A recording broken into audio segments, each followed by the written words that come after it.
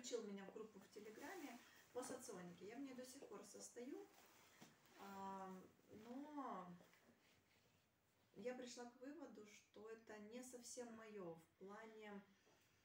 а, Я думала, мне это поможет в психологии, что-то там, не знаю, познать, изучить, ну, то есть какой-то новый, может быть, метод. э, Люди же все разные, и на самом деле неважно, во что ты веришь, главное, чтобы оно тебе помогало.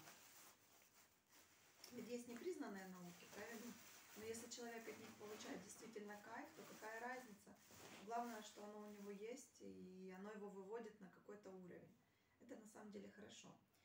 А, Значит, в этой группе состою в Телеграме я до сих пор, но люди меня, честно говоря, немного там разочаровали.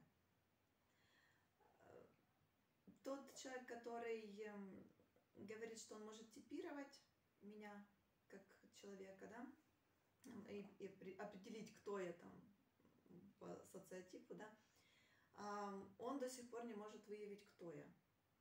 То есть э, в квалификации, к сожалению, но я в его сомневаюсь. Все соционические сходки э, сводятся к тому, что мы приходим, играем в настольные игры.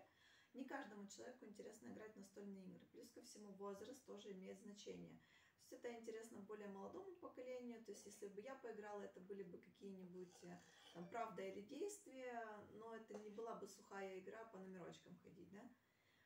Эм, Про какие-то моменты, ну, это не, не мой круг общения, скажем так. Они интересны, интересны по-своему.